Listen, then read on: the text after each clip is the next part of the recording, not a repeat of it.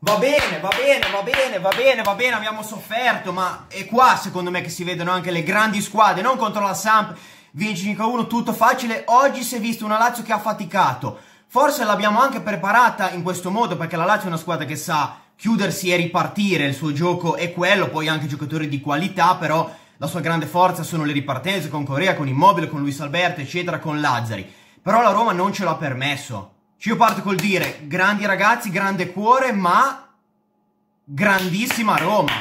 Cioè io all'andata avete fatto, dopo 19 partite, la Roma, Fonseca, ha fatto un lavoro straordinario. All'andata noi abbiamo dominato, ma la Roma agguanto quel pareggio, noi prendiamo 4 pali, ma in generale la Roma non era ancora una squadra.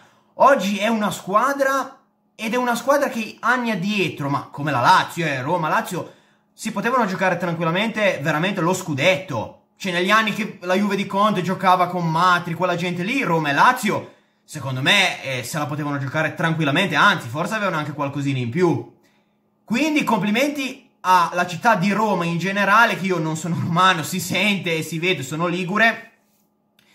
Però il derby più bello d'Italia, sotto tutti i punti di vista, da, secondo me, qualche anno a questa parte, anche dal punto di vista tecnico, Lazio e Roma sono due grandissime squadre. Ma andiamo con l'analisi. Allora, e, è qua, secondo me, che si vedono poi i veri laziali, però in questo momento criticare la squadra non avrebbe assolutamente senso. Perché chi conosce il calcio sa che è da queste partite, secondo me, che si può arrivare secondi, perché in questo momento il nostro obiettivo è il secondo posto. Lo scudetto è utopia, ma non è un nostro obiettivo, è una cosa in più. Io non mi nascondo, io ci credo fino all'ultimo. Però la Juve è nettamente più forte, però l'Inter no. Quindi dobbiamo, il nostro obiettivo è il secondo posto. E oggi io nel video di venerdì andato a vedere dissi pareggio con gol. Era scritto, era scritto. Io sapevo che chi diceva che sentivo anche al bar gente che diceva io pensavo che la Lazio se li mangiasse ma tifosi neutrali, la Roma no, no, perché al derby si azzera tutto, Fonseca l'ha preparata benissimo, con la vinta secondo me sugli esterni, con quel pressing alto, perché ragazzi io quando a volte ho eh, non criticato, però ho messo un po' in dubbio le prestazioni di Lazzaro e ho detto è un giocatore che manca un po' dal punto di vista tecnico quando spinge, anche se è un giocatore di quantità e tutto. E Spinazzola, è Spinazzola l'esterno che vorrei io. Ci avete visto Spinazzola? Che tecnica! Cioè, metteva qui cross, quel cross per Vertucci Spinazzola. Io un giocatore che adoro, peccato un po' per i problemi fisici, ma veramente la Roma non ci ha fatto respirare. La Lazio di solito, eh, mi ricordo la partita con la Samp, ma tante partite, costruisce da dietro, invece la Roma non ci ha fatto respirare.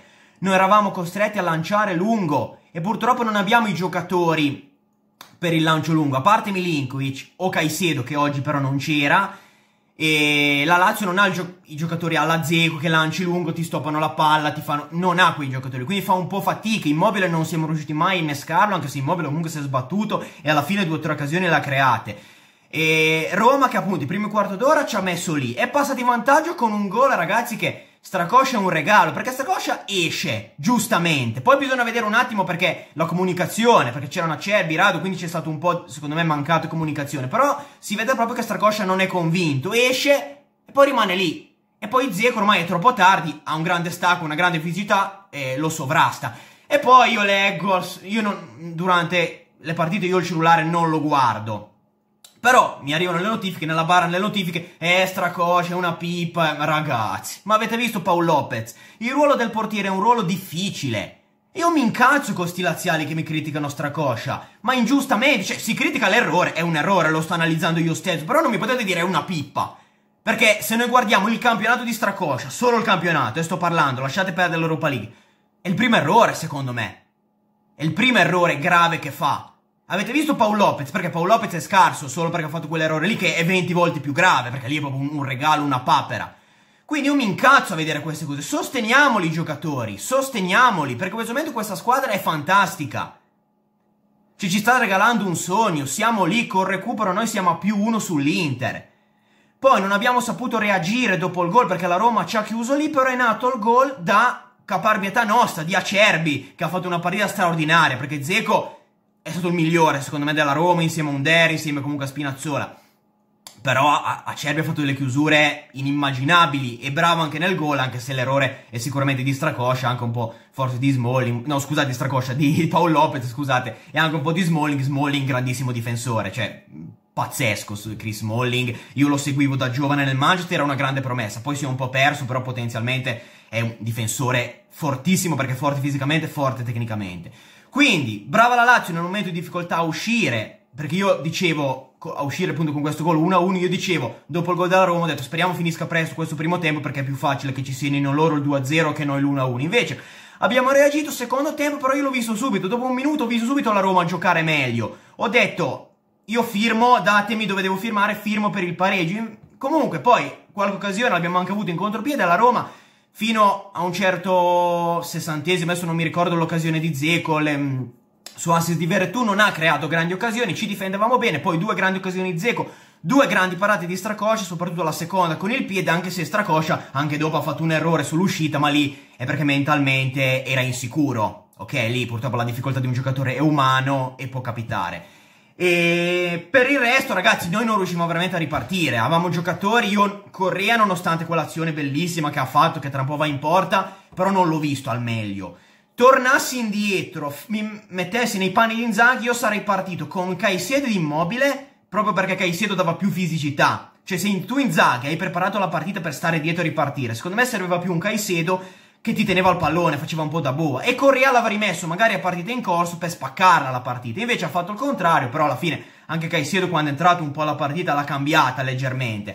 Però si è visto proprio che serviva un giocatore come Caicedo, che gli davi palla, lui te la teneva, ti prendeva il fallo e innescava Ciro Immobile. Non è Immobile che deve fare quel lavoro lì di venire a prendere palla e servire Correa, capito? Deve essere Correa o in quel caso lì Caicedo che è più adatto in quelle partite lì.